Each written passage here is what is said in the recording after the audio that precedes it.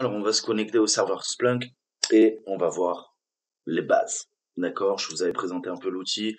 On avait fait un début de CTF qu'on finira plus tard, euh, si ça vous a plu.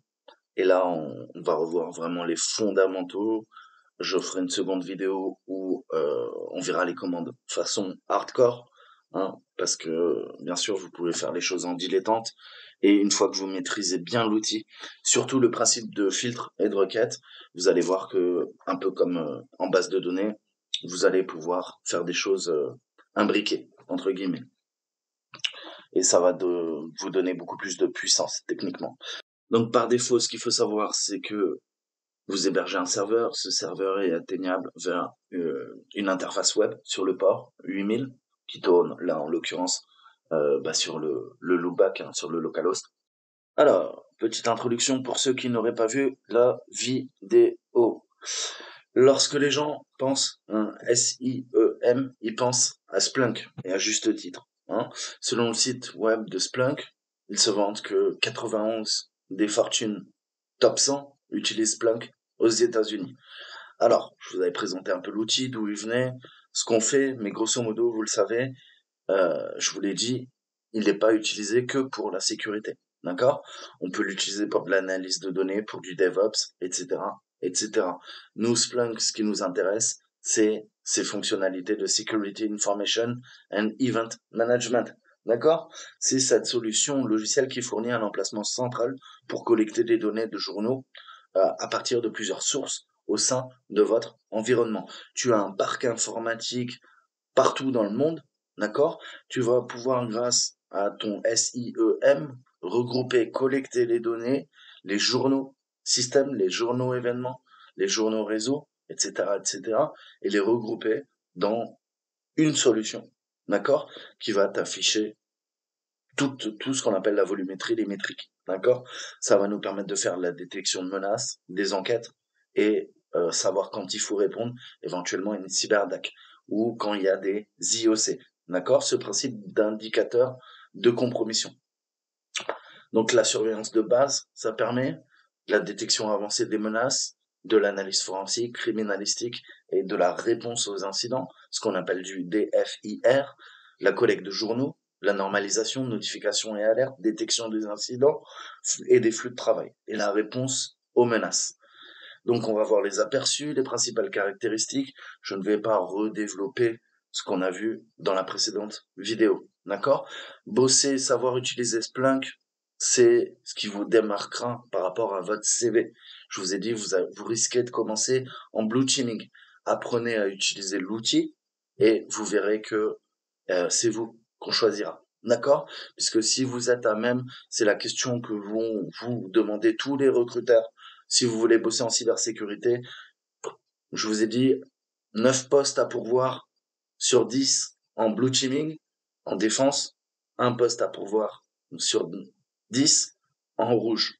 Donc il va falloir passer par un SOC, il va falloir commencer votre carrière en blue teaming et la question qu'on va vous poser, que vont vous poser les recruteurs, c'est tout simplement sur quel SIEM savez-vous travailler?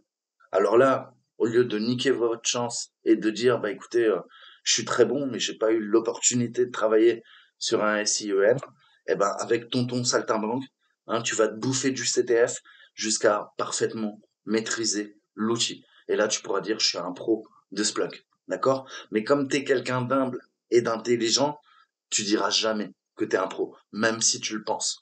Tu diras, je me débrouille. Je suis pas mal. Je pense avoir toutes les compétences requises. Tu vois, tu fais un peu de nuance. Tu apprends à manier l'art du langage.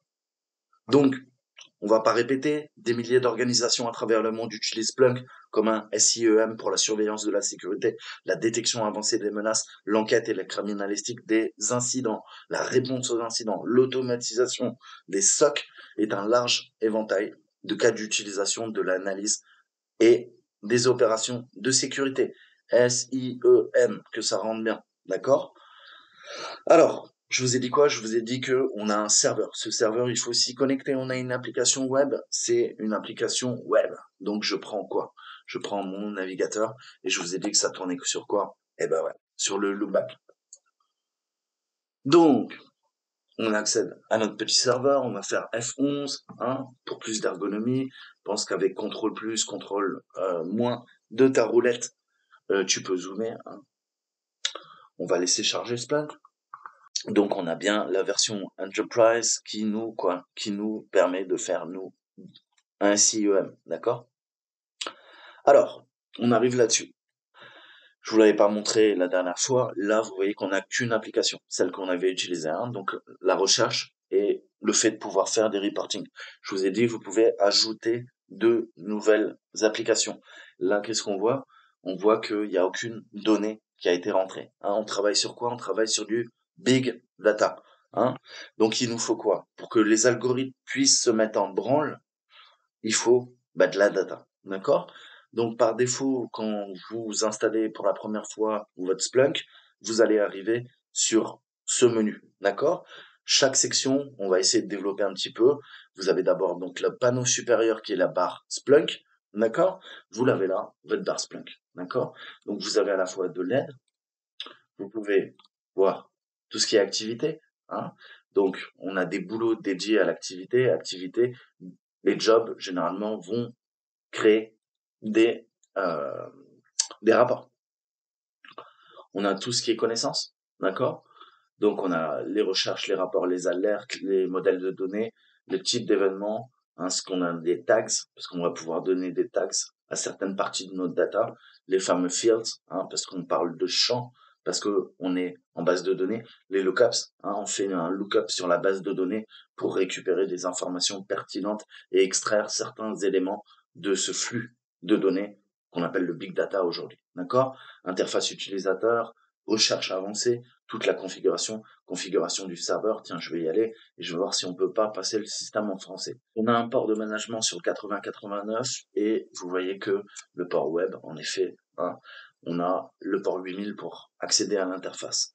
On a également un port 8065, d'accord, qui va nous permettre, ben, c'est l'application qui est dédiée à l'applicatif, au port euh, serveur des applications.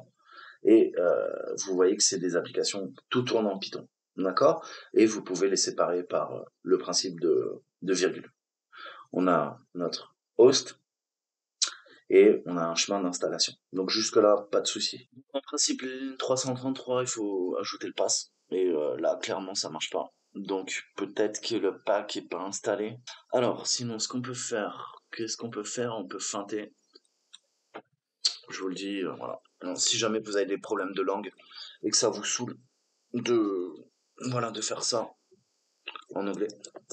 Hein, euh, voilà, défendons nos valeurs, défendons la langue française.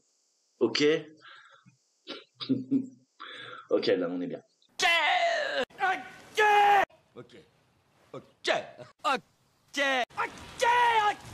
On est bien. No problem at all.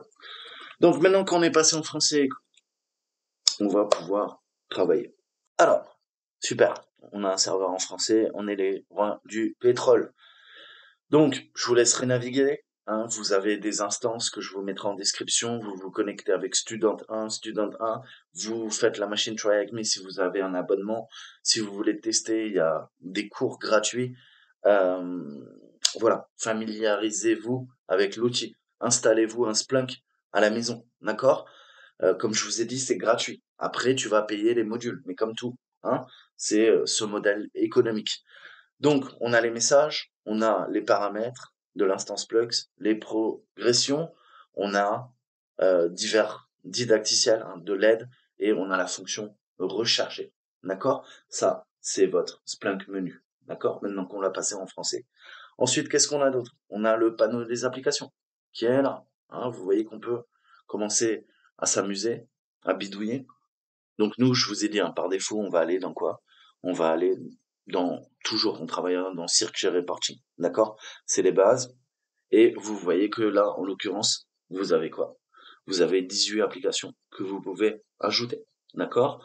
Le forwarder qui va renvoyer les informations, le log event alert action, hein, pouvoir configurer en fonction des alertes. Et on a des webhooks, on a pas mal de choses. Hein vous l'installez, vous l'activez, vous lui donnez les permissions et il va falloir le configurer. D'accord? Donc encore une fois, c'est hors sujet pour aujourd'hui. Nous, on va aller là-dedans. Donc vous avez le tableau de bord d'accueil. Par défaut, aucun tableau de bord n'est affiché. C'est normal. D'accord? Vous pouvez choisir une gamme de tableaux de bord qui est facilement disponible pour votre instance Splunk. Il faut sélectionner un tableau de bord dans le menu déroulant ou visiter la page de liste de tableaux de bord. Alors, comment je fais ça? Eh ben, tu vas revenir, d'accord? Là, il nous a chargé, tu vois, un tableau de bord. Il a été cool. Il a vu que, bon, hein, euh, j'ai cliqué sur site share reporting. Il m'a dit, vas-y, on va voir. Qu'est-ce que je peux faire? Je peux faire gérer les apps. Donc tout est personnalisable. Vous pouvez créer des tableaux de bord, les ajouter hein, au tableau de bord d'accueil, et les tableaux de bord vont vous permettre de créer, de visualiser et de faire plusieurs tableaux de bord en fonction des besoins. D'accord? Et on va avoir un onglet qui va apparaître qui s'appelle votre, hein, yours. Vous voyez que par défaut, l'application Splunk, elle est installée, d'accord? Par défaut, tu as Search Reporting qui est installé dans ton instance. Cette application, on l'appelle l'application de recherche, d'accord? Elle permet de faire des recherches et de créer des rapports. Donc vous serez automatiquement redirigé vers l'application de recherche. Là, on l'a. Par contre, comme je t'ai dit, on n'a pas encore de données. Donc il va falloir intégrer des données naturellement. Donc dans la partie là, vous avez euh, l'application de recherche, hein, où on va pouvoir lancer nos requêtes Splunk, rechercher dans les données qui ont été ingérées par Splunk, et on verra ça un petit peu plus tard. Donc encore une fois, vous verrez que Splunk, tous les menus sont quoi? Sont contextuels, d'accord? En fonction du contexte, ils vont s'adapter. Vous retrouvez des onglets, c'est assez épuré, euh, et vous voyez que vous pouvez également créer une nouvelle table. Hein. Vous êtes guidé, vous avez toujours accès à la knowledge base, ou à la base de connaissances, si vous avez besoin d'aide, c'est toujours possible, d'accord? Vous avez pléthore d'aide, allez voir, vous avez des tutoriels, vous pouvez aller sur les forums, poser des questions, vous avez tout ce qu'il faut pour vous aider, d'accord? En cas de pépin, ou si vous voulez en apprendre un peu plus. Ouais. Bon, écoutez, euh, allez voir. Je peux vous dire que ça, la VM, euh, la VM est isolée, comme d'habitude. Donc je ne peux pas vous montrer. Donc revenons à la page d'accueil de Splunk et on va avoir un petit peu le panier d'applications. Hein. Il y a une icône avec euh, une sorte de rouage et on va pouvoir modifier un peu les paramètres, voir ce qui se passe. Si tu reporting, modifier les propriétés, hein, tu peux faire comme ça. Ok. Donc, hein, un exemple tout bête, mais bon, tu as compris. Tu mets ce que tu veux, hein, tu vas donner un nom convivial à ton application, puisque c'est une application, et tu peux configurer euh, plusieurs choses. D'accord? Donc tu as euh, tes assets, tu peux uploader s'il faut. Hein, tu vois que ça supporte le HTML, le JS et d'autres choses. Donc ensuite, vous avez euh, tout ce qui est configuration hein, de l'utilisateur. Alors, sous Windows, c'est un peu différent. Vous l'avez à cette adresse, d'accord? Vous remplacez par la lettre de votre lecteur, vous l'avez bien compris. Ça, c'est sous Windows, ça, c'est sous Linux. D'accord? Donc, qu'est-ce que ça va nous permettre techniquement? Vous allez pouvoir demander à l'application de recherche de se, de se lancer automatiquement lors de la connexion. D'accord? Donc, c'est un simple fichier de conf. Euh, il faudra commenter, décommenter. D'accord? Par défaut, vous allez voir qu'il y a une variable qui s'appelle default underscore namespace qui est égal à dollar défaut. Vous allez effacer le dollar défaut et vous allez le passer sur search. Voilà, sauvegarder, relancer l'application. Donc l'emplacement des bases de chemin sera différent hein, si vous avez modifié votre emplacement d'installation Splunk. Ça, ça coule de source. Donc la meilleure pratique euh, pour toute modification apportée au, conf de Splunk, c'est de créer un répertoire et de placer les paramètres de conf personnalisés. D'accord? Lorsque Splunk est mis à niveau, très souvent, les valeurs par défaut sont remplacées. D'accord? Là, tout est par défaut. Et on a un daemon, un service Splunk qui s'appelle Splunk D qui doit être redémarré à partir d'un invité de ligne de commande. On va faire quoi? On va faire un net stop Splunk D ou et un net start Splunk D. Pareil, si vous êtes sous Linux, vous avez bien compris que vous allez faire un quoi? Un sudo service euh, Splunk D stop start ou restart.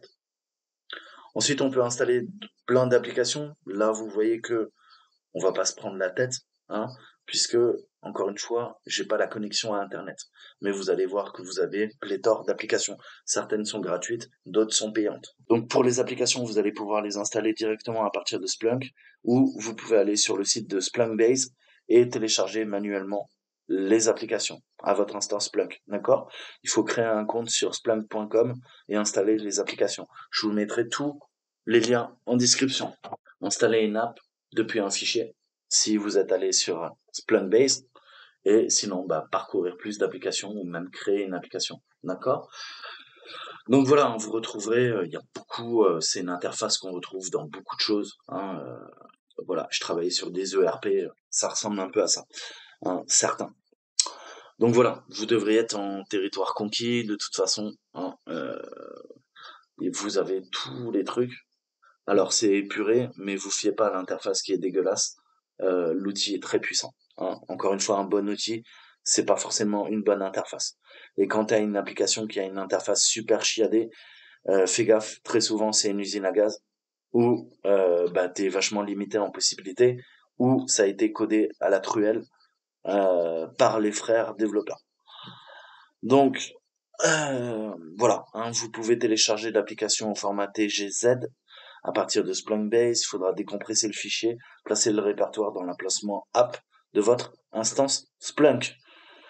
Euh, si vous avez effectué les étapes d'installation à partir de la section Linux de cette salle et copié manuellement une application, euh, vous devez peut-être modifier les propriétés du fichier et le groupe en Splunk dans votre instance Splunk, hein, au risque que ça ne fonctionne pas au redémarrage. Alors, pour vous montrer un peu, euh, on va aller taper sur un module. Je vais faire installer depuis un fichier. Je vais prendre et vous voyez qu'on a Sysmon. Hein, on a un TGZ, je vais le prendre. Parfait. Il vous dit Microsoft Sysmon a été installé correctement. D'accord? Donc voilà qu'il est là. Et maintenant, qu'est-ce qu'on a? On peut gérer nos permissions, on peut l'activer, le désactiver, travailler sur nos objets. D'accord?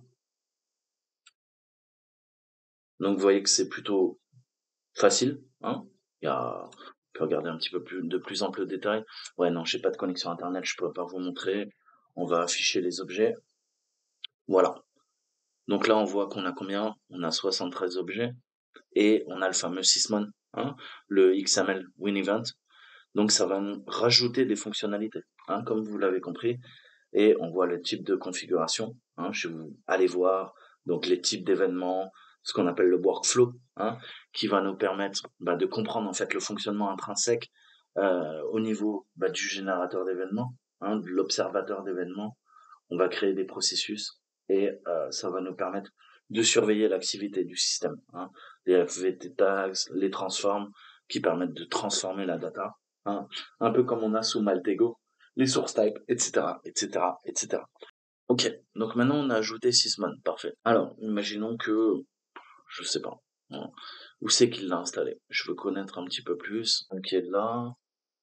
Modifier les propriétés, permission. Voilà le nom du dossier hein, qui, est, qui est là avec avec le nom de l'application. D'accord? Tout est application. Tu l'as compris.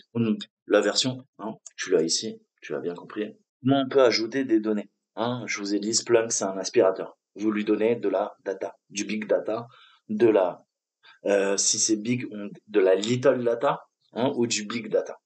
Donc les données elles sont ajoutées à Splunk, elles sont traitées, transformées. D'accord? Ce principe de transformation, je vous dis tout le temps, raffinage de l'information, voilà. Il faut transformer la data pour qu'elle devienne opérationnelle, hein, qu'elle soit intelligible et qu'elle soit pertinente pour en extraire la quintessence. Hein. Vous connaissez mon vocabulaire associé. Donc les sources de données, peuvent être des journaux d'événements, des journaux de sites web, des journaux de pare-feu, etc., etc., etc. D'accord? Vous avez des sources de données qui sont regroupées en catégories. On a une liste graphique qui nous définit toutes les sources de données qu'on peut avoir. Ajouter des données. Alors, vous avez tout le temps des didacticiels, regardez bien, vous avez toujours un peu d'aide. Hein euh, là, on n'est pas connecté à Internet, donc vous voyez que ça mouline. Mais on va faire très très simple. On a les fichiers et les répertoires, d'accord? Toutes les données vont être intégrés au sein de ces fichiers et de ces répertoires. On a tout ce qui est événements par rapport au réseau. D'accord? Ça va nous permettre de tirer, de pool la data, hein, c'est-à-dire, grosso modo, je vais la télécharger des portails, hein, et vous savez qu'on a des senseurs. Je vous l'ai expliqué dans la précédente vidéo. Donc, je vais pouvoir collecter de la data, des datasets, à partir d'un port réseau et éventuellement, via le SNMP, générer également des événements sur des équipements à distance. D'accord? Le but d'un SIEM, c'est centraliser l'information. Ensuite, j'ai tout ce qui est opération IT, NetApp, Cisco. Je peux avoir également des services cloud. Je peux avoir de la WZS, du Kinesis. Je peux avoir des bases de données, Oracle, MySQL, Microsoft SQL Server. Je peux avoir des services de sécurité, McAfee, Microsoft Active Directory, Symantec Endpoint, etc., etc. On va pas tous les citer. J'ai également de la donnée qui vient de ma, ma couche de virtualisation. VMware, XenApp, etc., etc. Mes serveurs applicatifs, mes AS, JMX, JMS, WebLogic, WebSphere. Je peux avoir des sources Windows, d'accord? Toutes les entrées utilisateurs, euh, les journaux d'événements, le registre, le WMI, l'Active Directory et tout ce qui est analyse des performances et d'autres sources. D'autres sources avec le principe de FIFO, hein, on va faire des fils first in, first out, et on va pouvoir scripter via des interfaces de programmation et contrôler d'autres interfaces à distance pour récupérer de la data ou pour envoyer de la data. D'accord? Interconnexion. Donc, je ne peux que te rediriger vers la documentation Splunk. D'accord?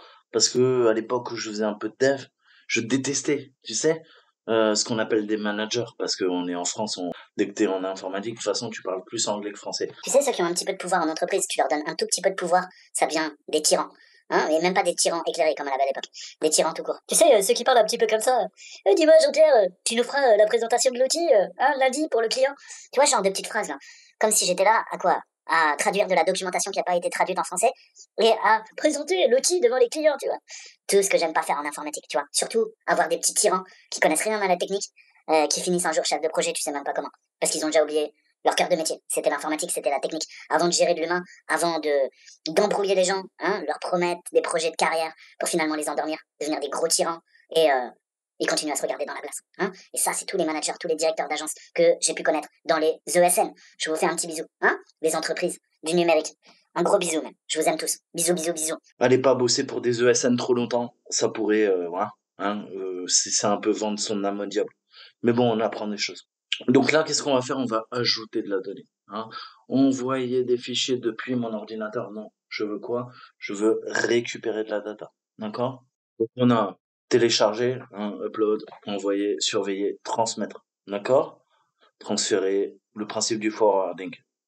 Donc là, il vous le dit, fichier TCP, UDP script, hein, tout est écrit. Je vous laisse lire. Donc, qu'est-ce que je veux faire? Moi, je veux surveiller, par exemple, les journaux Sysman. Hein, J'ai installé le module, euh, je connais le système d'exploitation et je veux récupérer les Windows Event Log. D'accord? Et je sais que ça, ça va être redirigé vers les indexeurs, Splunk. Hein. Le principe de l'indexeur, je t'ai dit, c'est des senseurs qui vont récupérer la data, qui vont la réagencer, la trier, la filtrer pour qu'elle devienne exploitable. D'accord? Pour que tu puisses l'utiliser. Donc qu'est-ce qu'on va lui dire? Ben, Tu l'as bien compris, on va lui demander faire surveiller. Ok, on arrive là-dessus. Hein? Local Event Log, on va aller là-dessus. Et là, on voit les Available Items, hein, comme on dit en anglais, c'est-à-dire les ressources disponibles, hein, les éléments disponibles. On voit qu'on en a pléthore, d'accord? C'est de parce que l'application a l'air un petit peu buggée. Non, ok, c'est normal. Bon, tout va bien. Alors, là, vous pouvez ajouter un petit à petit, vous voyez. Mais qu'est-ce qu'on peut faire d'autre? On peut passer par paramètres. D'accord. Et dans paramètres, qu'est-ce qu'on a? On a les data input, hein entrée de données. Ok, on peut aller là aussi. Toujours plusieurs façons de faire, vous le savez. Et là, j'ai quoi? Bah exactement la même chose. D'accord? Donc tu peux toujours accéder, hein, c'est comme tout aujourd'hui. Si vous êtes un peu familier des applications euh, web, hein, euh, bah, qui se font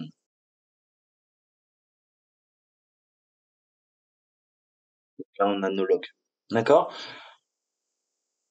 Donc on a beaucoup de journaux qu'on va pouvoir ajouter. Les logs, pour rappel, ce sont les journaux. En termes d'applicatifs, en termes de sécurité, tout ce qui est pro, euh, setup, donc configuration, système, euh, événements qui sont reroutés, etc., etc. Alors qu'est-ce qu'on peut faire? Je vais faire tous, d'accord? Faire tous, index par défaut, on va le passer en default. Hein? Vous savez qu'on travaille sur des index de destination pour la source, on va travailler sur du default. D'accord? Donc tu l'as compris, plus tu auras des logs d'événements importants, plus bah, tu seras à même hein, de jouer. Euh, ok, il y a le daemon qui est en train de partir en cacahuète. The read operation timeout. Ok, il y a un timeout. Alors, il doit y avoir un souci avec le backend. Je vais pas commencer à débugger l'infra euh, de, de Try Me. On va pas perdre de temps. On va intégrer de la data. Vous allez me dire, c'est quoi un champ? Bah, je t'ai dit, c'est de la base de données. Oui, mais dis-moi en plus. Hein en fait, c'est l'information élémentaire. Un champ, c'est ça que tu dois comprendre. On parle de field, ok? C'est l'élément élémentaire d'une base de données, d'un fichier informatique, d'une ressource informatique, où existent des termes indexés. D'accord? Dans un tableur, tu es un pro d'Excel, tu fais un, euh, un tableau croisé dynamique. D'accord? Tu as les cellules de la première ligne du tableau, des données brustes qui deviennent différents champs que l'on peut faire glisser dans l'assistant. Quand on fait du reporting, vous savez très bien de quoi je parle. Dans les bases de données, typiquement un champ, il va être considéré comme l'intersection d'une colonne et d'une ligne. Est-ce qu'une base de données, c'est une succession de lignes et de colonnes? C'est-à-dire une valeur particulière, le champ, dans une colonne, telle que l'adresse ou le numéro de téléphone de monsieur Dupont. Selon la définition, on pourrait faire l'analogie entre la cellule d'une feuille d'un tableur et le champ défini avec le langage de programmation, ou non, hein, si c'est du SGBD, d'accord? Donc système de gestion de base de données, dans lequel il appartient dans la base de données. On a également des bases de données hiérarchiques. Ces champs s'appellent fichiers. On parle de enregistrement des records pour un agrégat de champs définis dans le schéma par une valeur d'index. Tout est index. Qu'est-ce qu'on vient de définir ensemble? Un index. D'accord? Voilà, maintenant les champs, il faut que ça soit clair. Il s'agit de fichiers eux-mêmes définis sur des secteurs de disques physiques. Après, en base de données relationnelle est une base de données relationnelle. Enfin, le langage. Cet ensemble s'appelle une table. Les tables sont logiquement mises dans le réseau constitué par le schéma informatique et porte la signification de l'agrégat de petits grains. On parle de granularité de l'information et ils sont euh, finalement pardon, définis sur des fichiers physiques. Ensuite, on a les bases de données orientées objets qui sont configurées dans une logique indépendante de la formulation physique du stockage des informations, aussi bien les informations qui sont codées pour le champ ou pour la propriété, l'attribut qui caractérise et qui une caractéristique propre à un objet donné, puisqu'on parle de base de données orientée objet. D'accord? Donc c'est les informations typiquement d'accessibilité du dit champ. D'accord? Donc je développerai pas, hein, parce qu'on a toute une, une sémantique, une terminologie, hein, comme tout en informatique. D'accord? Un champ, maintenant, voilà, il faut que tu creuses, parce qu'on travaille sur des champs. Donc vous m'avez vu décompresser? Hein, tout à l'heure. Euh, le fichier, je vais le prendre. Alors, je vais essayer de taper directement un zip. On va voir s'il le prend. Là, il nous dit, OK, euh, je veux bien de ton fichier, mais par contre, il est compressé, donc je peux pas te faire une prévisualisation. D'accord? Mais je peux peut-être quand même faire suivant. Il le prend. D'accord? Donc le source type est l'un des champs par défaut que la plateforme Splunk euh, affecte à toutes les données entrantes. Il indique à la plateforme Splunk le type de données dont vous disposez, de sorte qu'elle est en mesure de les formater de manière intelligente pendant l'indexation. Donc, on va hiérarchiser, classer les données. Le problème, c'est quand on intègre ça en base de données. Typiquement, qu'est-ce qu'on fait quand on traite du data euh, dans une entreprise? On va avoir des silos. Les silos sont des serveurs de stockage de la donnée brute. Une fois qu'elle est intégrée en base de données, d'accord? On va avoir plusieurs types de bases de données et au fil et à mesure que on pousse ça d'abord dans des environnements euh, silo, type silo. Hein, après, on va avoir de la recette, on va avoir des environnements de bac à sable, on va avoir des environnements de pré-prod, on va avoir des environnements de production. Petit à petit, l'information qui était brute va être raffinée à chaque étape, à chaque passage dans un autre environnement. Le but, c'est que, tu l'as compris, hein, euh, aux antipodes, on a quoi? On a les silos qui stockent, comme les céréales. Les silos stockent des, des, des, céréales, des graminées, d'accord? On parle de silos en data warehouse, hein? On appelle ça des entrepôts de données. Vous retrouverez ça dans les grosses, grosses entreprises. Les silos stockent la donnée brute, hein, d'un côté, à gauche, à droite, parce que nous on lit de gauche à droite, il s'est passé une succession d'étapes pour que la donnée qui était à gauche se retrouve complètement à l'extrémité droite et elle a été raffinée par différents processus. Elle est exploitable, elle a été expurgée, ok, de toute donnée redondante, hein, des doublons, typiquement, d'accord? C'est-à-dire que je te donne un exemple. Tu travailles dans le commerce, peu importe ton secteur d'activité, et euh, ton entreprise te demande, toi, en tant que vendeur, tu as des postes, hein, des points of sales. Elle va demander, vous voulez pas une carte de fidélité? Parce qu'on lui demande de faire ça. Et il y a Toto le hacker qui va revenir trois fois. Hein et puis, il y a trois personnes de chez Sephora, parce que Toto le hacker, il adore se parfumer. C'est une vraie star. Moi, je prends de l'eau sauvage, tout le temps, hein, de chez Dior, je vous le dis. Euh, et puis, j'ai Chrome aussi. J'aime bien Chrome. Mais plus sérieusement. Et là, il y a trois vendeuses qui font OK, Toto le hacker. Et il y en a une qui va écrire Toto. Toto. La deuxième, elle va écrire Toto avec T-O-H. T-O-H. Et euh, il y en a un qui va se tromper, la troisième vendeuse ou le troisième vendeur, qui va taper Tata. Tata le hacker. Tu vois? Par contre, on a la même adresse, on a le même numéro de téléphone. Alors toi, quand tu essaies de fusionner, hein, c'est ce qu'on appelle un merge, en base de données, tu vas fusionner à partir des données qui sont en silo. T'as quoi? T'as as un triptyque, t'as un tri triplet d'informations, d'accord? Et quand tu essayes de fusionner, là, au niveau de tes outils, euh, la base de données, elle dit, ah, il y a un problème, il y a un problème. Là, je regarde tous les champs, et en base de données, il y a des champs qui sont OK. Hein je vois qu'il y a quoi? Il y a 3 rue de Seine, hein, 75 006 Paris. Maintenant, vous connaissez mon adresse. Voilà, il y a j'ai trois personnes différentes. Hein. Pourtant, j'ai le même numéro.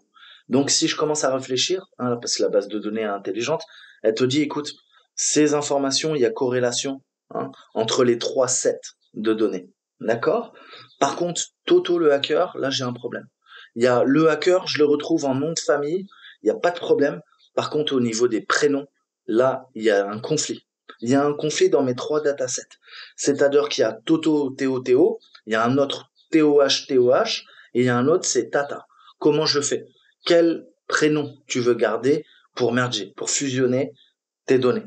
D'accord? Et à ce moment-là, tu l'as bien compris, eh ben, on va travailler sur nos champs. Hein. Tes champs, il faut qu'ils soient expurgés de toutes ces erreurs de redondance. Hein. Tu vas avoir euh, Toto le hacker avec trois numéros de téléphone. Qu'est-ce que qu'est-ce que tu fais? Si tu veux récupérer des clients, hein, tu as des prospects, hein, comme on dit en marketing, en force de vente, il va falloir rappeler ton prospect et lui dire, écoutez, je vous avais appelé, on va vous vendre tel ou tel produit, rappelez-moi votre numéro de téléphone. D'accord? C'est pour ça que dans les grandes boîtes, quand vous travaillez dans des business units et tout ça, on a quoi? On a des commerciaux qui récupèrent de la data, on l'intègre en silo, et après, il faut raffiner cette information. D'accord? Puisque toi, en base de données, ton application, elle peut pas, tu peux pas lui dire, bon, bah écoute, tu vois, en fait, Toto, Théo, TOH, TOH et Tata, le hacker, à la même adresse, même numéro de téléphone, c'est la même personne. D'accord? En base de données, il n'y a qu'une personne. Je vous ai parlé des data brokers. Qu'est-ce que font les data brokers? Ils font de la fusion de bases de données. D'accord? Ils mergent des énormes quantités de bases de données, des centaines, des milliers de bases de données, toutes les informations que euh, vos fabricants revendent, en fait, techniquement. Et, euh, et voilà. Et après, eh ben, on arrive à fusionner ces bases et à les revendre. Parce qu'on a un marché de la data. On a un marché euh, officiel de la data sur Internet. C'est-à-dire que si j'investis plusieurs milliers, plusieurs dizaines de milliers d'euros, je peux récupérer de l'information sur n'importe qui, n'importe quand. Et on a le pendant, toute la partie dark web, où pareil, en fonction des sommes que je vais investir, je peux récupérer n'importe quelle information sur n'importe qui. Maintenant, tu le sais, tu n'as plus de vie privée. Et il n'y a pas que les agences de renseignement qui savent ce que tu fais. Les GAFAM sont aussi puissants que des agences de renseignement. Tu payes ton eau, tu payes ton gaz, tu payes ton électricité, tu as des opérateurs de téléphonie, tu as des fournisseurs d'accès à Internet. Ils savent exactement ce que tu fais. Ton banquier est ton pire espion. Il sait tout de toi, tout ce que tu consommes. Ton assureur sait tout de toi, connaît tous tes actifs, comme le banquier. Je te laisse méditer. Mais on sait tout de toi. D'accord? C'est pas lancer tort quand tu surfes sur Internet qui va te rendre FUD. Hein tu veux être FUD dans la vie, ça va être très compliqué. Hein parce qu'il va falloir apprendre des choses connexes euh, au monde du hacking, au monde de l'informatique. D'accord? Donc voilà, tout ça, ces bases de données se revendent des millions de dollars. Je t'ai expliqué qu'on allait se faire 250 millions de dollars. Et toi, tu vas, tu, ça se trouve, tu crèveras la bouche ouverte. D'accord? Dans cette société de consommation. Mais on se sera enrichi tu ne verras jamais la couleur de l'argent. Alors est-ce que c'est bien, est-ce que c'est mal? Moi je sais pas. Je te laisse réfléchir, comme toujours. J'ai pas à t'influencer. Mais tu vois, je te donne des exemples concrets. Parce que tu peux pas parler de base de données, de silos, de relationnel, de champs, et après comprendre comment c'est utilisé au quotidien, dans les grandes entreprises, en termes informatiques, en termes techniques. Et toi, toi, toi, t'es dans des champs, et ces champs, ils sont revendus des millions de dollars. Parce que tu n'as plus de vie privée et parce que tu es le dindon de la farce. On est tous les dindons de la farce. On est tous les moutons qu'on est en train de tondre. On est tous les vaches à lait. Hein on a les pieds enflés et euh, ah, on nous vide. On nous vide. Ah, ça, ça me soulage. Ça me soulage. Eh ben écoute, sois heureux dans cette société de vaches à lait, de moutons, de pigeons. Et voilà, c'est toi qui vois. Donc c'est un fichier zip, il va vous le prendre, mais il va vous dire naturellement que quoi qu'il ne peut pas tout de suite être indexé, c'est normal. Vous allez faire suivant. Le source type, valeur constante, champ de valeur de l'host. Pour l'instant, on va laisser tout par défaut. Vous faites résumer. Il vous résume et terminer, soumettre. Donc là, il indexe, il va uploader, décompiler l'archive, enfin décompresser, et ensuite on peut lancer une recherche. Vous voyez que par défaut, il vous prend la source. Hein, la source, c'est le tutorial data. Ouais, c'était le fichier original. Et vous voyez que petit à petit, ça prend quelques secondes, quelques minutes. Tout va dépendre de la puissance de la bécane. Il est en train de quoi? Il est en train d'indexer en base de données. D'accord? Il est en train de récupérer les champs. Donc, on voit que sur Lost, bah, c'était Lost en question. Là, on a 109 864 événements. On a compris un petit peu comment installer les applications et les modules. Je vous redirige vers la documentation qui est plutôt bien faite. Hein. Euh, donc maintenant, on va interroger hein, la base de données. C'est là toute l'utilité de Splunk. Hein. Donc le journal d'événements. Donc je vous ferai des salles dédiées. On va refaire du blue teaming. Je vous ai dit, on va comprendre comment fonctionne le journal d'événements. En effet, toutes les semaines minimum, tu dois aller voir ce qui se passe sur ton PC Windows. Tu dois pas faire confiance. Tu t'es peut-être fait pirater, tu le sais pas. D'accord? Encore une fois, supposer que tu t'es pas fait pirater, c'est totalement subjectif. Ok? Tu penses que tu t'es pas fait pirater. Aller voir et se sortir les doigts de ce que tu sais, du fondement, c'est aller voir le journal d'événements, c'est aller voir Sysmon. Hein? Je vais, on va faire des cours là-dessus. Mais c'est à toi de faire la démarche. Et là, tu passes de quoi? De quelque chose de totalement subjectif à quelque chose d'objectif. Hein, objectif, pourquoi? Bah tu vas voir les logs sur ton ta machine. Attends pas d'être dans l'entreprise. Fais ça sur ton PC à la maison. D'accord? Il faut que tu apprennes à surveiller ton ordinateur. Sinon, ça sert à quoi de s'intéresser à tout ça? Pourquoi tu veux apprendre l'attaque si tu veux pas apprendre la défense aussi? Et ça commence par, bah ouais, lire ces logs. Ok? Et personne le fait. D'accord? Tu fais confiance à ton antivirus. Eh ben ça, c'est pas bien. C'est pas une bonne posture. D'accord? Donc on verra tout ça. On verra comment analyser les journaux de l'observateur d'événements à la trace d'attaque, euh, comment faire ça en ligne de commande en PowerShell. Là, on va utiliser des techniques de filtrage pour affiner les informations qu'on recherche. On va se faire ensuite un petit CTF des familles. Donc un SIM, je t'ai mis un article, va lire le Varonis, traduis-le, et des fois tu ajoutes juste un .fr euh, à Varonis ou un slash .fr, et tout l'article est déjà traduit en français. T'as pas besoin d'utiliser un traducteur comme Mate. Donc là, on est dans Splunk, on va créer des requêtes pour trouver les données qu'on recherche dans différentes sources, d'accord? Et tout est intégré dans l'outil, c'est la puissance. Alors, le wildcard, l'astérix, d'accord? Qu'on appelle aussi quoi? Wildcard, astérix, d'accord? Ou joker, hein? C'est la, la même chose, d'accord? Si je fais joker, je prends quoi? Je prends tout. Là, par défaut, tu vois qu'il m'a appliqué déjà deux filtres. Il a utilisé source et il a utilisé host, d'accord? En fait, tu vois bien qu'il te le met, hein Tutorial c'est la clé. Deux points, il y a la valeur. La valeur, c'est quoi? C'est all. D'accord? Mais qu'est-ce que je peux faire? Ben, Je peux faire tout. Parce que fondamentalement, tu vois une différence. Il y a un petit peu plus d'événements encore. D'accord? On récupère encore plus d'événements. On en avait 109 000, on est, on est passé à 138 000. D'accord? Mais ce qui est normal, on avait déjà appliqué deux filtres, comme tu as pu le constater. Donc moi, je veux tout. Donc je lui dis, ouais, Astérix. D'accord? Ça, vraiment, c'est des commandes qu'il va falloir apprendre par cœur. Hein. Tu verras au début c'est compliqué, comme tout, ça va devenir de plus en plus simple, plus tu vas pratiquer. Je te donne toujours l'exemple du vélo. Quand tu étais petit, on t'a mis des roulettes. T'arrivais pas à tenir debout sur ton vélo. Après, t'es devenu un crack. T'arrivais à, à faire du vélo sans roulette. D'accord? Après, fait, t'as pris un vélo de course. T'es allé à plus de 80 km heure en vélo. D'accord? Après, t'as fait quoi? T'as fait du VTT. T'es parti en montagne. T'as appris à passer slalomer entre les arbres, à sauter des bosses, à faire des sauts de plusieurs mètres. D'accord? T'es devenu un crack. Mais entre le temps où t'avais quoi? 3, 4 ans, 5 ans, 6 ans, 7 ans, 8 ans, et quand tu fais du VTT en montagne, t'as plus de 30 ans, d'accord? Donc t'as quoi? T'as 20, 25 ans d'expérience? Je te fais une caricature, ça prendra moins de temps. Tu vas pas passer 25 ans sur Splunk, je te rassure. Mais ça va prendre du temps, d'accord? Ça va se compter en mois, ça va se compter en années. Ça dépend des personnes, ça dépend des gens. Ça dépend à quelle vitesse tu apprends. Ça dépend combien de temps tu te donnes tous les jours pour apprendre une matière, un système, une application, un concept. Ça, tu le comprends. Et plus tu vas apprendre, plus tu vas apprendre vite. Je t'ai dit, ton cerveau, tu dois le former à l'apprentissage. D'accord? Au début, t'es lent, t'es fainéant, ça te plaît pas. Et je t'ai dit, après, ça va devenir une drogue. Tu vas ingérer la data comme un super calculateur ok? Et tu vas traiter la big data. La big data, c'est tes cours. La big data, c'est tes techniques, tes tactiques, tes procédures. C'est tous les sujets qui sont connexes au hacking, à l'informatique. Tout ça, tu vas apprendre. Ça va prendre du temps, mais tu vas te donner à fond parce que c'est ça que t'aimes. Donc nous, on veut récupérer toutes les données historiques dans Splunk. Là, vous voyez qu'on a, on n'a pas encore discuté des filtres, mais je peux vous parler de deux principaux. On a quoi? On a tout le temps D'accord? C'est ce qu'on appelle le all time en anglais.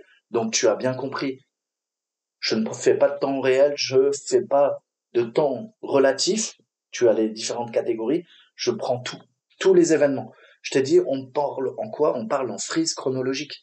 Qu'est-ce que j'ai? J'ai ma frise chronologique. J'ai le début des événements et j'ai la fin. D'accord? On a commencé à capturer le 21 janvier 2001 et on s'est arrêté le 3 mars 2021. Qu'est-ce qu'il te dit? Il te dit, regarde, ça fait un mois et 13 jours. Sur un mois et 13 jours, on a collecté quoi? On a collecté 138 910 événements. Donc toi, tu prends tout. Un mois, 13 jours. D'accord? Et tu vois ta frise chronologique. D'accord? Je t'ai dit, quand tu fais de l'analyse, tu dois tout le temps avoir cette temporalité. Hein? Et la mise en forme, comment tu la veux? Tu la veux complète? Tu peux jouer. D'accord? Pour que toi, ça soit le plus intéressant. Tu veux une échelle logarithmique, c'est des fois peut-être un peu mieux. Tu vois le nombre d'événements. D'accord? Donc nous, c'est tout le temps où, tu l'as compris, qu'est-ce qu'on peut faire? On peut regarder les dernières 24 heures. Il n'y a pas de problème. D'accord? Ça peut être utile. Les 15 dernières minutes, les 50 dernières minutes, les 24 dernières heures. Très souvent, vous allez jongler entre ces deux-là. Après, bien sûr, par granularité, tu vas affiner. Tu as le relatif qui est ici. D'accord? Tu vas pouvoir jouer beaucoup plus précisément sur le redatage. Des périodes définies, des intervalles, des dates et des périodes. Et la partie avancée. D'accord? Et la documentation, si tu ne sais pas comment faire, tu vas chercher l'information. Tu poses des questions. Donc on va demander à Splunk de générer tous les événements à partir des données historiques au cours des 24 euh, dernières heures, à partir du moment où on a soumis notre requête. N'oubliez jamais ça. C'est par rapport à un instant T et c'est vous qui gérez l'instant T, qui déclenchez. Hein, on parle de, trigger. Donc qu'est-ce que je fais? Bah, Je vais aller sur la loupe. Vous avez vu qu'on peut jouer et je vais lui dire bah, tout simplement qu'est-ce qu'on fait? On repart sur une période prédéfinie et je vais lui mettre 24 heures. Là, vous voyez que tout le temps, hein, all time devient euh, 24 last hours, hein, en français, 24 dernières heures. Donc là, je t'ai dit, après, tu peux jouer sur la source. Ça. Donc pensez, vous avez les types de sources et les sources. Si je tape source, voilà, j'ai pléthore d'opérations. Je peux lui demander quoi? Je peux lui demander tout ce qui concerne, par exemple, le sysmon. Je peux mettre quoi? Je peux mettre un source type. Pareil, je veux que du sysmon opérationnel. Allez, hop. Et là, on repart. Où tu fais entrer. Ok, on voit qu'en effet, on a filtré. Nos source type, on a tous les mêmes source type. Tu peux le constater. D'accord? Différents événements, tous ont été filtrés par rapport au type de source. D'accord? Et comme c'est le même type de source, tu verras que c'est également la même source. En l'occurrence, le Win euh, Event Log 2. Euh, Microsoft Windows Sysmon Operational. D'accord? Donc là, j'ai tous mes événements et on voit qu'on en récupère combien? 12 événements. 12 événements ici. Mais je peux jouer aussi sur... Je reviens. Allez, source type. Allez, source type, qu'est-ce que j'aurais pu faire? Je vois à nouveau, quoi? Les 12 événements dont on m'a parlé. J'en ai 12 244 autres qui sont différents. Et je vois mon fameux les valeurs. Hein, le top des valeurs, les valeurs rares, je peux aller filtrer, jouer là-dessus. Et là, on voit qu'on a un filtre rate limit et vous voyez que ça a été pipé. Il y a une petite barre euh, droite. D'accord? Donc là, je récupère. Pareil, vous, on va voir les commandes après. Euh, on va reprendre le CTF. Je vais vous montrer des, des commandes complexes. Pareil, les sources. Je peux aller voir mes sources. Là, j'ai mes sources qui sont mises en temps réel et vous voyez que c'est en train de scraper et de mettre en temps réel euh, les informations. D'accord? Le pourcentage, le nombre. Donc vous voyez le nom, ce qu'on appelle les valeurs. On a de chaque source, on a les nombres d'événements, hein, qu'on appelle nombre, ainsi que la valeur en pourcentage de tous les événements par quoi? Par pour chaque source. D'accord? On voit les dix premières valeurs qui sont visibles. Là, on a 12 valeurs, ici en l'occurrence. Des fois c'est 10, des fois c'est 12. Avant c'était 7. Est-ce qu'elles ont été sélectionnées? Là je peux cliquer oui ou je peux cliquer sur non pour jouer avec mes filtres. Est-ce que tu veux, tu vois, réduire un peu, sélectionner dans ce cas-là, c'est un petit peu plus grand. Donc, on va utiliser, au lieu de Wint Event Logon, on va lui demander les autres événements. Hein, t'as vu que il n'y a pas tout. Là, il y en a 12, et après, je vois, on a du PowerShell, on a, moi, je veux regrouper tout ça. Je veux regrouper tout ça. Donc, ben, il faut commencer à faire des requêtes, entre guillemets, complexes. Alors, mais tu vas voir, c'est pas très compliqué, il faut comprendre le truc. La source est toujours est égale à une chaîne de caractères. Si c'est une chaîne de caractères, hein, je la mets entre double guillemets. Et là, dedans, tu commences à taper quoi? X, M, L, et tu vois qu'il te le propose. D'accord? T'as pas besoin d'apprendre par cœur. Il faut juste savoir à quoi ça correspond. Parfait. D'accord? Donc là, il y a plusieurs événements, je veux tous les passer au crible. Donc, je, c'est moi qui définis la source. Des 12, on passe à 12 256. Là, j'ai l'ensemble de mes événements du Sysmon, hein, du monitor système. Donc, si on regarde le premier euh, événement, on peut développer les détails de l'événement. Je vous ai dit là, vous êtes quoi? Vous êtes en mode liste. Vous pouvez également développer. Alors, comment on peut faire ça? Qu'est-ce que vous voyez là? Le petit i, c'est information. D'accord? Et là, je peux cliquer. Et là, si tu cliques, voilà, tu vois que tu as maintenant sélectionné les différents champs concernés et tu peux également modifier les tags, je te disais. Hein, tu vas pouvoir changer tout ça, choisir des événements en plus par process ID, etc., etc. D'accord? Tu vois tous ces champs et tu vas pouvoir appliquer des filtres. Donc ça, c'est vraiment important. C'est ce qui te permet, par granularité, d'aller chercher des éléments pertinents pour ton analyse en base de données. Certains de ces champs sont spécifiques à Sysmon. On va voir qu'il y a plein d'ID d'événements. Typiquement, qu'est-ce que tu vois? Tu vois le threat ID, tu vois le process ID. Ça, ça a été extrait naturellement. C'est pas des marqueurs de Splunk. C'est ce qu'on a récupéré à partir de Windows. Là, j'ai quoi? Bah, j'ai euh, un, un 2004. D'accord? Qu'est-ce que c'est que ça? Mais je peux aller, bon là je peux pas te montrer, la machine n'est pas connectée à Internet, mais tu peux cliquer pour avoir de plus amples informations. D'accord? On a des fichiers euh, XML, NS, hein, puisque tu vois, regarde les events, c'est bien formaté au format XML et ils s'appellent tous événements XML NS, Name System. D'accord?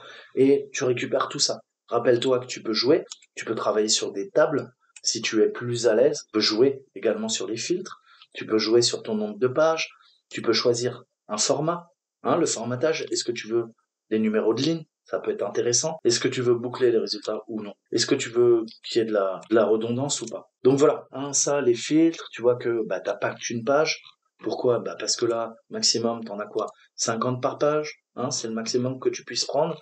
Et tu vois bien que bah, y en a beaucoup plus. En effet, on a 12 256 événements. Donc des pages, tu peux en avoir. D'accord? Alors il faut bien comprendre que les champs que vous avez également sous Metasploit, euh, sous Metasploit, à fond dans le mec, sous Splunk, pardon, diffèrent. Je vous ai dit, c'est contextuel, en fonction de la source et du type de source. En anglais, source et type source. Source type, pardon. Donc si on revient à notre enquête, entre guillemets, hein, on veut ajouter, afficher des événements. Je sais qu'il y a un ID, euh, création et suppression d'objets au sein de Windows, de l'Active Directory. C'est quoi? Il y a un ID d'événement 12. Alors comment je peux faire ça? Eh ben on reprend notre requête et on va l'affiner. Là on a 12 256 événements, ça fait beaucoup. Euh, je sais pas pourquoi ils mettent pas un S d'ailleurs, ça a été mal traduit. Mais bon, je reprends ma requête et qu'est-ce que je lui passe? Ben je lui passe un autre paramètre, d'accord? Event, event, hein, ça veut dire l'événement.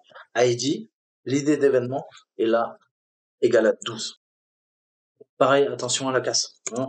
C'est important, vous le savez, c'est quoi? Ben, C'est la différence entre les majuscules et les minuscules. Ça, il va pas comprendre le logiciel. Hein? Ça, il comprend pas. Et tu le mets event id est égal à 12, là il comprend. Tu peux extraire les champs, ça peut être utile aussi. Hein, si tu as besoin de travailler dessus, voilà.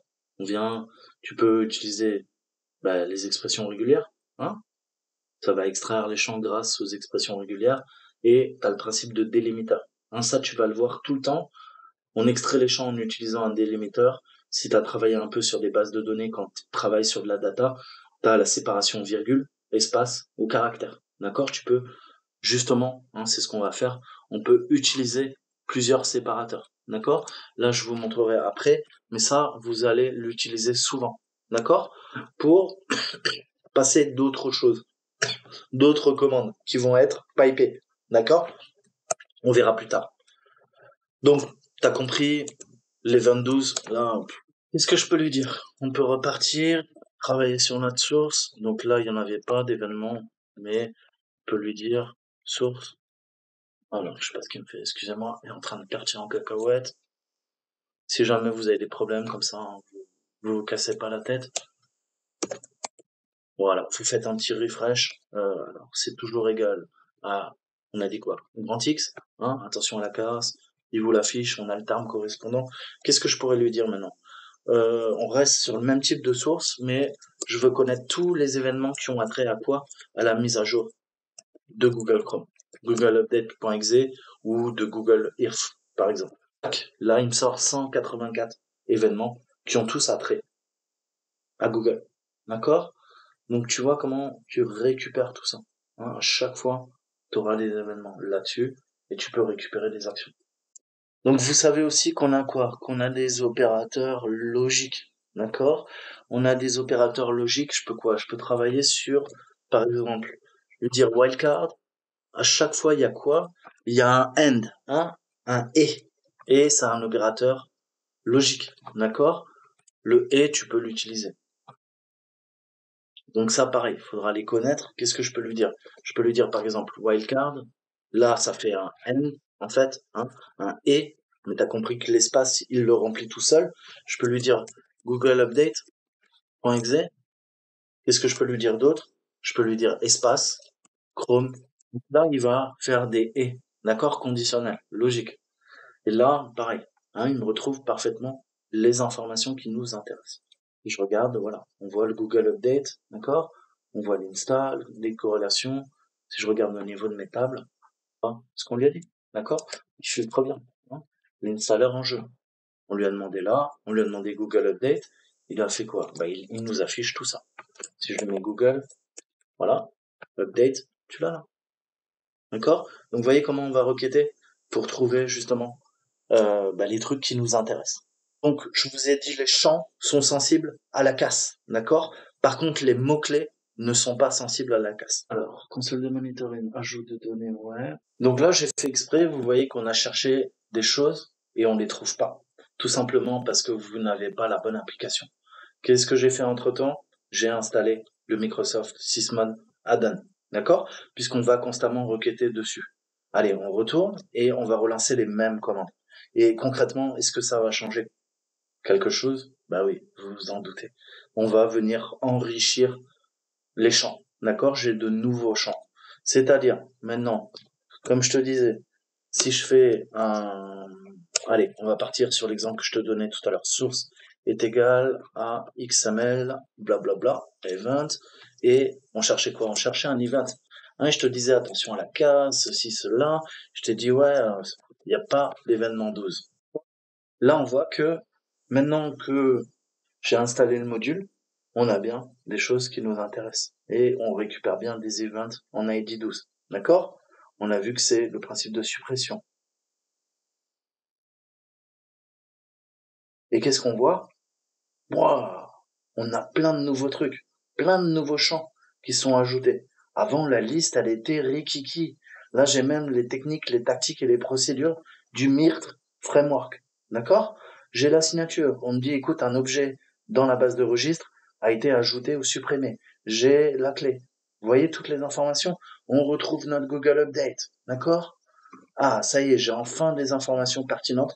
Pourquoi? Eh ben parce qu'on n'avait pas l'application installée. Donc tu vois bien que déjà, ton nombre d'événements et ton nombre de champs est conditionné par les applications que tu vas installer. D'accord? Mais c'est pas vraiment un secret, mais je voulais te montrer. Alors, qu'est-ce qu'on peut faire d'autre? Ben je peux me focaliser sur un mot-clé. D'accord? Plutôt que de taper manuellement le mot-clé, on va l'ajouter en cliquant sur la valeur et on va lui dire écoute, soit tu l'ajoutes à une requête existante, je vais faire ajouter à la recherche ou je vais lancer une nouvelle recherche. Je peux faire ça. Je choisis ce qui m'intéresse, je clique dessus, ah, et là, qu'est-ce que je vois? Ben, J'ai trois options. Je te disais nouvelle recherche, pour faire une nouvelle requête, ajouter à la recherche, je lui ai demandé de l'ajouter à la recherche, 61 événements. Et là, tu vois qu'automatiquement, pareil, il t'ajoute de nouveaux filtres. Maintenant, il y a quoi? Ben, il y a un champ A, hein? Enfin, le paramètre est égal à la valeur de quoi? Du chemin absolu. D'accord? On se focalise en effet sur où est situé le binaire. Et là, je récupère combien maintenant? Je récupère 71 événements. Et je suis sûr que tous ces événements, tu peux regarder, ils concernent quoi? Mais ils concernent Google Update. Donc là, on vient de se focaliser uniquement sur ça. Tu vois?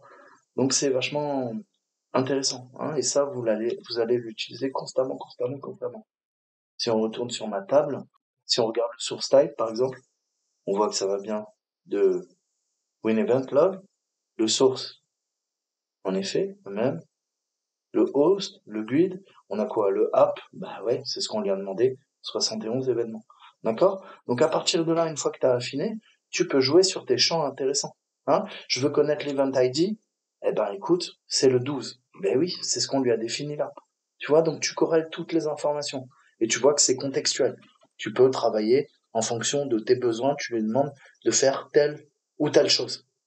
Alors, je vous ai parlé du et. Astérix espace googleupdate.exe espace Chrome installer. La requête affiche tous les événements selon la période spécifiée. Là, c'est tout le temps. Et ça renvoie tous les événements avec quoi? Googleupdate.exe et Chrome installer. Est-ce que je peux vérifier que ça marche? On repart maintenant qu'on a installé l'application. Je peux lui dire quoi? J'ai dit Google euh, excusez-moi, j'ai de la latence du turfu. J'arrive même pas à taper. Google Update et Alors, est-ce que c'est vrai, est-ce que c'est pas vrai? Bah regarde, app, il t'en dit deux. Bah ouais, c'est vrai. D'accord? Google Update et Google Et pourquoi il nous a pas pris Chrome Installers Cet animal? Donc là, il nous sort ce qu'on lui a demandé. À la fois du Chrome Installer, à la fois du Google Update. Ok, parfait. Mais le mot-clé, ça peut être un mot, ou ça peut être quoi? Ça peut être une phrase. Alors je sais, ça peut être complètement dingue. Qu'est-ce que je peux lui dire? Eh ben la phrase, je vais la mettre en... On l'a vu, on travaille sur une chaîne de caractères, sur un string. Je vais la mettre entre double, guillemets, et qu'est-ce que je peux chercher? Je vais lui dire fail, donc ça a foiré, de quoi Password foiré, erreur, échec de mot de passe pour, je sais pas, l'utilisateur sneezy. Je referme, qu'est-ce qu'il faut? Je lui dis de tout prendre. Wildcard, espace, end, automatique et entrée. Et là, il me trouve exactement ce qu'on vient de demander. D'accord? On voit le source type, on voit le mail dans Secure Log et on voit tous les événements qui concernent un problème de mot de passe. Fail password for sneezing. Tout ça. Donc tu vois directement, t'as la data. Je sais que c'est quoi? C'est SSHD, c'est le serveur SSH. Il y a eu une erreur. J'ai l'adresse IP, j'ai le port. Et c'est du SSH V2. D'accord? Et tout est extrait de quoi? À partir de www2secure.log. Et mon type de source, c'est ww1 secure. Bah, c'est un port différent. C'est des machines différentes. Ah, ça va, ça me rassure. Si c'était la même machine, ça craint un peu. Donc là, qu'est-ce qu'on voit? Bah, on voit, euh, c'est quoi? C'est entre le 21-02-2021. Là, on a quoi? On a, si je regarde là, du 14 février au 21 février, dans un intervalle de 7 jours et d'une heure. Vous le voyez au centre. D'accord? Ici. Donc voilà. C'est euh, c'est très très utile et euh, et voilà vous allez vous en la barre de recherche c'est votre meilleur outil. Hein. Je vous ai dit euh, votre meilleur ami et l'autocomplétion. Pensez à l'autocomplétion. Donc on commence à avoir une vision un petit peu plus objective de comment ça fonctionne. D'accord? Alors là qu'est-ce que ça a fait techniquement hein? C'est aller dans l'instance Splunk. On a importé des données à partir d'un fichier zip qui s'appelait tutorial data et il te le dit. Il te dit, regarde la source, c'est tutorial.zip que tu m'as donné. Et qu'est-ce qu'il a fait? Eh ben, il est allé requêter en base de données. Il nous a affiché le message, la chaîne de caractères qu'on veut. Tu as bien compris, je peux mettre ce que je veux. Pour une fois, il est pas là. D'accord? Donc, c'est toi qui tapes ce que tu veux et tu l'as bien compris, c'est quand même, même si ton application est en français, traduite, la requête se fera en anglais, puisque la plupart des systèmes informatiques fonctionnent en anglais. Si maintenant tu as des logs qui sont traduits en française, tu pourras utiliser le français. D'accord? Si tes logs, c'est un serveur chinois, eh ben, tu utiliseras du chinois. Je sais pas pourquoi ça bug sur les dernières 24 heures. Voilà, hein, vous avez les interesting fields et euh, ça, c'est extrêmement utile. Hein, ça vous fera gagner un temps fou. La barre latérale champ intéressant, vous vous en servirez tout le temps. D'accord? Ça va vous aider à ajuster votre requête et à affiner encore plus vos résultats de recherche. Regardons un truc qui s'appelle, euh, je sais pas. Donc là, je te montre. Si je clique sur une des barres, elle est automatiquement ajoutée. Tu vois Là, j'ai le plus ample détail. Qu'est-ce que je peux faire? Yes, selected. Donc si vous voulez les voir apparaître, vous mettez yes. Et là, du coup, bah, elles vont apparaître. source type, ok. J'ai mon guide, pas de problème. Et là, il y a les champs, tous les champs sélectionnés. D'accord? Mais je peux en mettre d'autres que je viens d'ajouter date month. Je veux quoi? Je veux file. Yes. Ok. Là, je vois que j'en ai de plus en plus. Et je vais pouvoir jouer sur quoi? Sur les champs. Je peux les déplacer. Hein? Donc pareil, après, vous pouvez, euh, comment dire, réagencer hein, pour que ça soit propre. Vous pouvez faire un all field pour voir, selected field. Tu peux sélectionner ce qui te plaît. Je vais en ajouter constamment d'autres. Je veux les H, je veux les images. Voilà, tu vois? Select all euh, within filter, donc tous les filtres sélectionnés. Et à partir de là, tu vois que tu as tes nouveaux filtres qui viennent d'apparaître. D'accord? Et tu en auras de plus en plus. D'accord? Tu pourras te balader. Donc voilà, hein, tu as ta petite barre latérale.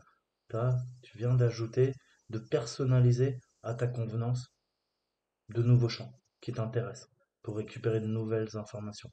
D'accord? Donc c'est comme ça que tu viens enrichir via les métadonnées, d'accord? Via les différents champs, d'accord? Donc pensez, hein, le select yes, tout ça, tout ça, tout ça. Ça, c'est au niveau de ta table, mais c'est pareil au niveau de ta liste. Qu'est-ce que tu viens de faire? Ben, tu vois que avant ça s'arrêtait. Je te donne un exemple. hein. Euh, peut-être ça s'arrêtait là. On vient d'ajouter de nouveaux champs. Donc comme tu as de nouvelles lignes, en mode liste, bah, tu as tout ça qui vient d'être ajouté. Image, je l'ai ajouté. Avant, il n'y était pas. D'accord? Donc ça vient enrichir. Et si tu prends quoi? Tu l'as compris au format RAW, brut. Qu'est-ce que tu as? Est-ce que tu as image? Je suis pas sûr, hein, ça. hein. Est-ce que tu as image?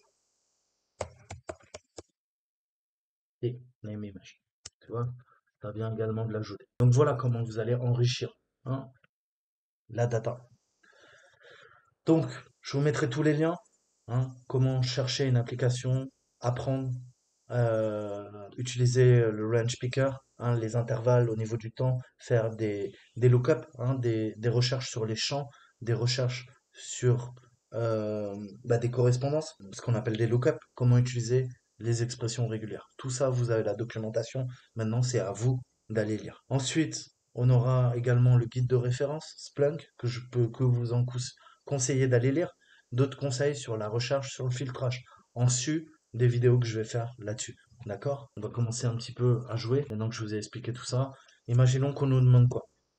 Euh, je sais pas, j'ai mon responsable qui vient me voir et qui me dit, écoute, tu vas chercher quoi? Alors, comme source, alors excusez-moi, je rafraîchis, ça bug, ça arrive. Comme source, tu vas me chercher le fichier zip que je t'ai donné et que tu as intégré dans Splunk. Ok, donc je commence à cibler. Source, je lui mets quoi? Je lui mets, on a vu qu'on travaillait sur quoi? Un truc qui s'appelle tutorial, d'accord? Tutorial.zip, data.zip. Ok, je refais. Vas-y, cherche tout ce qui concerne euh, les, les fail password. Ah, là, il nous en trouve 33 000. Fail password, on le voit. D'accord? Ça passe bien. Regardez les patterns, je vais vous expliquer un peu. Dans pattern, et là, tac, tac, tac, tac, tac, ça recherche quoi? Des motifs récurrents. hein. Si on doit définir un peu les patterns, il y a trois patterns que j'ai définis, et je vois que bah, j'ai le user, j'ai le fail, password, le port. Donc là, il m'en sort trois. D'accord? Je peux prendre un éventail beaucoup plus large. hein. Voilà, ça passe les données. Là, à 100%, il me dit, écoute, voilà. Hein, Ça, c'est euh, un pattern qui est important. D'accord? Là, j'ai détecté un pattern basé sur 10 000 événements. Donc, si on nous demande, par exemple, quel est le, dernier, hein, on voit que le dernier avec 0,56, c'est l'utilisateur MYUAN. D'accord? Euh, imaginons qu'on me dit, OK, donc là, il y a des fail passwords. euh, je veux que tu me dises combien il y en a eu pour 7 utilisateurs. Hein? Qu'est-ce que je peux taper? Je peux taper, taper le nom de l'utilisateur, tab, events. On voit qu'on a quoi? On a 16 événements. D'accord? Voilà, ensuite, on va parler un peu des règles Sigma. hein. Sigma, c'est Florian Roth qui a créé ça. Alors, c'est quoi Sigma? Déjà, vous avez le référentiel GitHub qui dit que Sigma, c'est un format de signature générique et ouvert qui permet décrire les événements de journal pertinents de manière simple. La forme de la règle est très flexible, facile à écrire, applicable dans tout type de fichier journal. L'objectif principal du projet est de fournir une structure formée, structurée dans laquelle les chercheurs ou les analystes peuvent décrire leurs méthodes de détection autrefois développées et les rendre partageables avec d'autres. D'accord? Le but, c'est de faire du collaboratif. Les règles Yara, c'est du Threat Intelligence? On a également du Sigma. Alors, chaque SIM, SIEM a sa propre structure format pour créer des requêtes et il n'est pas facile de partager les requêtes SIEM avec d'autres équipes de sécurité si elles n'utilisent pas votre produit. Exact. Par exemple, vous pouvez avoir un référentiel de requêtes Splunk que votre équipe utilise pour vérifier l'exposition aux menaces ou faire du threat hunting, hein, de la chasse aux menaces, mais ces règles, ces requêtes peuvent être créées au format Sigma et ainsi être partagées à des équipes qui n'utilisent pas Splunk. C'est le principe d'interopérabilité entre les différents SIEM. D'accord? Donc les règles Sigma peuvent être partagées avec les indicateurs de compromission, IOC, et les règles Yara en tant que Threat Intel, Threat Intelligence. D'accord? Alors, certains SIM sont pris en charge. On a Splunk, on a le, protection avancée, Windows Defender pour côté serveur, euh, Windows Server, Azure Sentinel, ArcSight, QRadar, et on a Sigma qui est utilisé par MISP, Tor que je vous conseille. Je vous ai montré, je vous ai fait des vidéos comment installer Tor Lite pour utiliser les Sigma et le Yara préfète et scanner en su de votre antivirus. D'accord? Et on a le bac à sable en Joe Sandbox. Hein? Donc on a également une application Splunk qui s'appelle TA, Sigma Search. Et les règles Sigma, elles sont écrites dans du YAML. C'est ce qu'on appelle du Young High-End Markup Language. D'accord?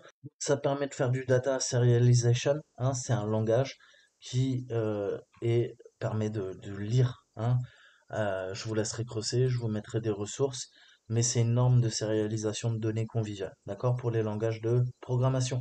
Donc le référentiel Sigma contient des signatures dans le dossier rules.sigmac et le convertisseur Sigma est situé dans le dossier outils qui peut générer une règle SIM spécifique. Et on a une version en ligne de cet outil qui s'appelle SockPrime, qui a été fait justement par le papa, Florian Root, euh, qui fait le travail de conversion pour vous. Hein. L'outil est encoder.io. Comment ça se passe la syntaxe? Tu utilises Sigmac, ok? Tu lui mets en corrélation Splunk, "-c", le tools. Le tools, bah, il y aura le config générique, tu auras ton fichier YML et tu l'indiques, tu le passes dans Rules, Windows, Process Creation et là, je lui donne le nom d'une règle. D'accord? Donc c'est comme ça qu'on va venir injecter, tout simplement. Tu as le sock prime. D'accord? Donc on va travailler là-dessus. Techniquement, on va faire du, drag and drop. D'accord? Il est très simple. Euh, et cet outil, il n'est pas seulement destiné à la conversion Sigma vers ton SIEM. Il permet également d'autres conversions. Je vous laisse rechercher. Voyons un petit peu. Qu'est-ce qu'on peut faire? On a une boîte déroulante cette liste déroulante va nous présenter les règles Sigma que nous pouvons convertir en requête Splunk. D'accord? C'est aussi simple. Je t'ai parlé d'Elasticsearch, de Curana. Là, on, voit également. Donc là, je prends une règle Sigma et je vais lui dire, écoute, tu me la passes en Splunk. Donc maintenant, si je veux, par exemple, rechercher quoi? Euh, Ajouter un utilisateur. D'accord? Je vais faire un user add à administrateur local. Voilà la règle qui est au format Sigma. D'accord? Et tu vois que automatiquement, hop, translate, voilà ce qui est passé. Tu le veux en alerte, voilà. Le Splunk alert, voilà ta règle, d'accord Que tu vas venir ajouter.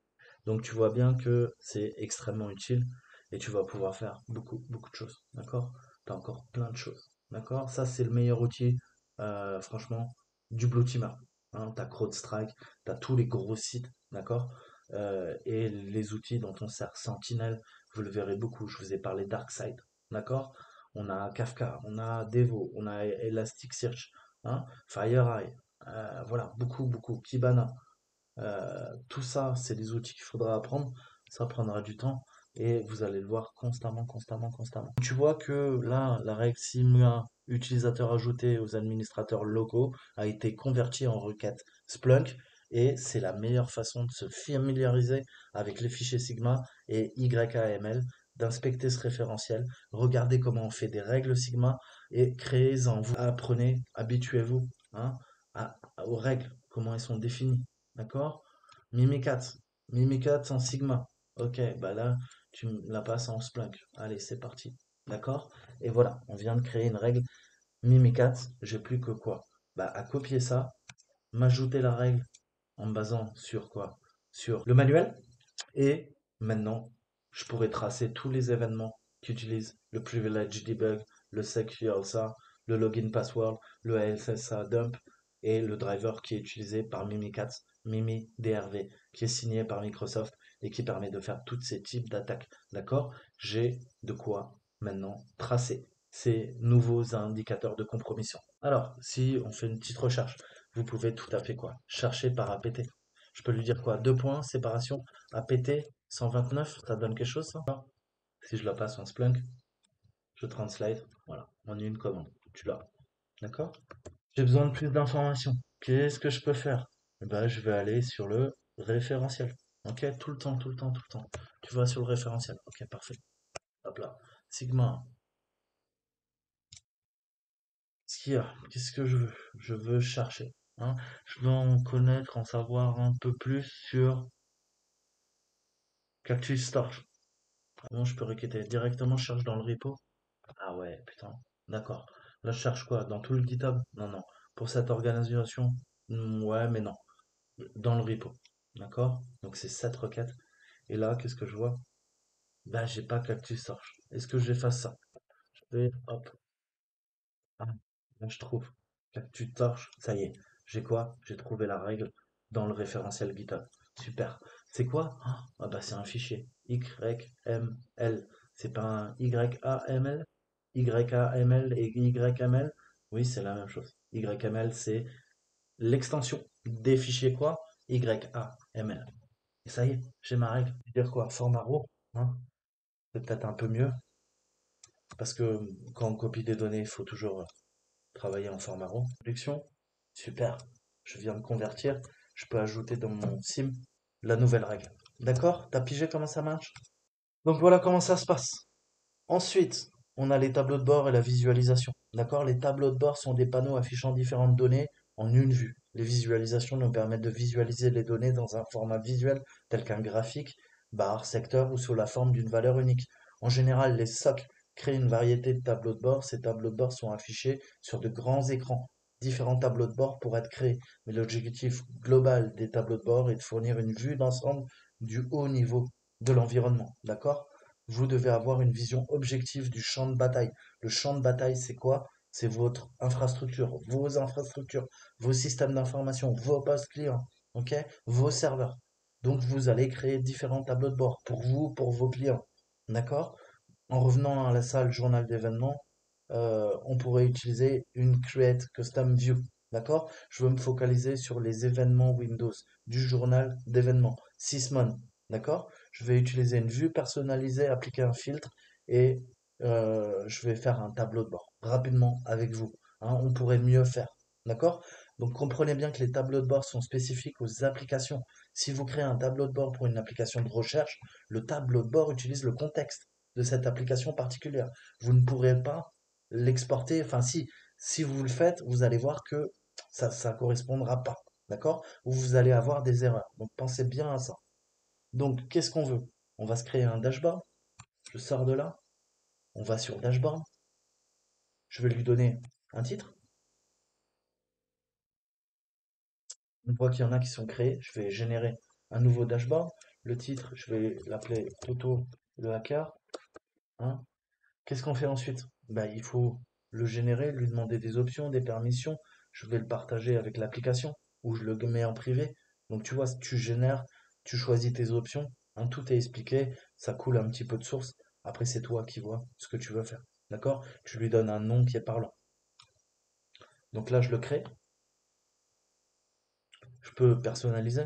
D'accord? Hop. Je peux le passer encore en dark theme. Voilà, il n'a pas l'air de kiffer. Save and refresh. Donc on va save et on va refresh. Moi j'aime bien tout ce qui est son, j'utilise des modes son partout. D'accord? Ensuite je peux quoi? Ben, Je peux commencer à éditer. D'accord? Il faut bien afficher quelque chose. Il faut bien afficher des sources. D'accord? Ok, là j'ai ma source, pas de problème. Là je reviens sur lui. Ok. Est-ce que je peux ajouter un input? Ouais, je peux ajouter un input. Qu'est-ce que je peux dire? Je peux dire time. Ok tous les 24 heures, non, je veux tout le temps que tu m'affiches quoi? Add panel, input, euh, une checkbox, d'accord Qu'on va appeler euh, hop, DP, d'accord L'apply. Donc est-ce que c'est coché ou pas? Je vais pouvoir faire des boutons, hein, qui en fonction des besoins que j'ai. Je vais ajouter un panneau, je vais faire un new. Je veux quoi? Je veux des événements, d'accord Le content tile, je vais l'appeler RDP, et je peux quoi? Utiliser un time picker. Je vais lui dire global. Ok. Et là, je vais lui mettre mon string. D'accord Je vais lui dire typiquement, tu l'as compris, euh, recherche tous les événements euh, ou toutes les erreurs depuis 24 heures. D'accord? Donc là, ça fait une recherche. Ok, je l'ajoute là. Voilà, donc là, je vais avoir Donc tu as compris, hein, tu vas pouvoir créer, faire un autorun pour qu'il se lance automatiquement, ajouter des panneaux, ajouter des inputs, etc. etc. Je ne vais pas développer, D'accord? Mais voilà. Donc à toi de chercher. D'accord? Là, je fais un cancel. Je repars de zéro. On nous a demandé quoi? On nous a demandé de trouver un moyen de visualiser quoi Euh, Les 5 meilleurs ID d'événements de Sysmon sur le tableau de bord SOC. D'accord? Tout d'abord, il nous faut créer une requête de recherche. D'accord? Ensuite, on va la diriger vers une commande de transformation pour filtrer les 5 principaux événements. Et ensuite, il faudra examiner, afficher les résultats. D'accord? Comment je peux faire ça? Il faut éditer. D'accord? Alors, là, on est bien, on est dans le mode dashboard. Qu'est-ce qu'il nous faut? Il nous faut une source. On va travailler sur notre requête, tout d'abord. Alors, qu'est-ce que je veux? Je veux ma source. D'accord? Je sais que ma source, on travaille sur du, je l'ai dit 50 fois, XML, blablabla, blablabla, blablabla. Je veux quoi? Je veux un matching terms. Ok. Ensuite, je te dis qu'on pouvait commencer à piper. Piper, je veux quoi? Je veux top. Top, ça fait quoi? Bah, t'as bien compris. C'est le command history, ça te, ça t'affiche les valeurs communes hein, dans un champ. Là, je vais faire un top quelque chose. Nous, on a dit quoi? Mon patron, il m'a demandé de limiter. Donc, je vais mettre limite, d'accord? Et on limite à combien? On limite à 5. Et on travaille sur quoi? Bah, C'est du Sysmon. On travaille sur Event ID. D'accord? Est-ce que ça marche? J'ai 12 184 événements. Tu vois bien qui m'a affiché les 5. D'accord? Donc là, ça, c'est cool. C'est cool. Je commence à avoir des trucs assez sympas. Hein. J'ai euh, mes statistiques, j'ai mon event, j'ai placé mon filtre, ma requête me plaît. Maintenant, on va passer à visualisation. Ah, visualisation, qu'est-ce que je peux faire? Ben, je peux changer. D'accord? Donc, vous avez plein de tableaux de bord, plein de visualisations différentes.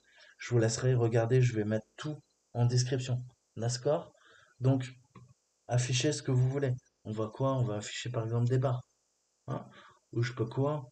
Je peux afficher ce que vous voulez en fait. hein, En colonne, vous pouvez faire des petits camemberts, mettre, voilà, à vous de bidouiller. D'accord?